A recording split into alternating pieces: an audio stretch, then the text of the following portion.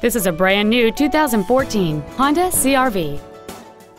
It has a 2.4-liter four-cylinder engine, a five-speed automatic transmission, and all-wheel drive. Contact us today to arrange your test drive.